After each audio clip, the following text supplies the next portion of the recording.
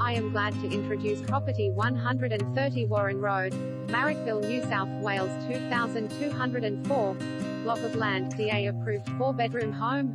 An exceptional opportunity to purchase a DA approved block of land has come up in arguably one of the inner west's most sought after suburbs.